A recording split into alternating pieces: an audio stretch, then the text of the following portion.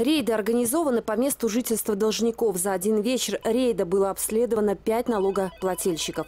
Инспекторы и судебные приставы отправились к должникам домой. Некоторых должников не удалось застать дома. По этим адресам придется вернуться еще раз. Тем не менее, сотрудники судебных приставов и налоговые инспекторы отмечают, ситуация, когда должников не застают дома, происходит часто. Тем не менее, подобные рейды – один из самых эффективных способов борьбы с должниками.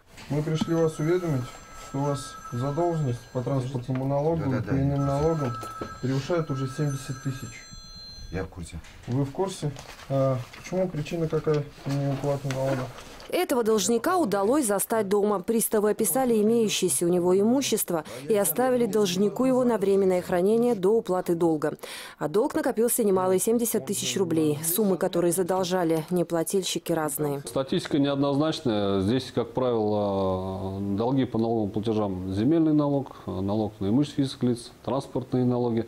Соответственно, суммы колеблются практически от небольших, таких как, скажем, 3 тысячи, 4 тысячи, так и налоги доходят до 70, до 80 тысяч. Судебные приставы исполнители обладают широкими полномочиями, в том числе возможностью наложения ареста на имущество, установления временных ограничений на выезд должника из Российской Федерации. Приставы могут привлечь к административной и даже уголовной ответственности.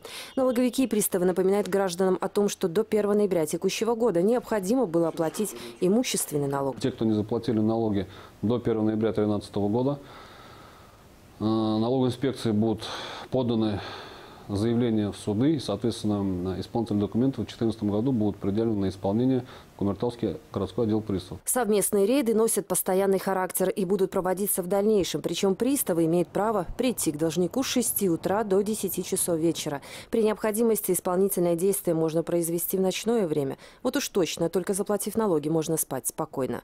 Татьяна Сафонова, Денис Тихонов. Новости.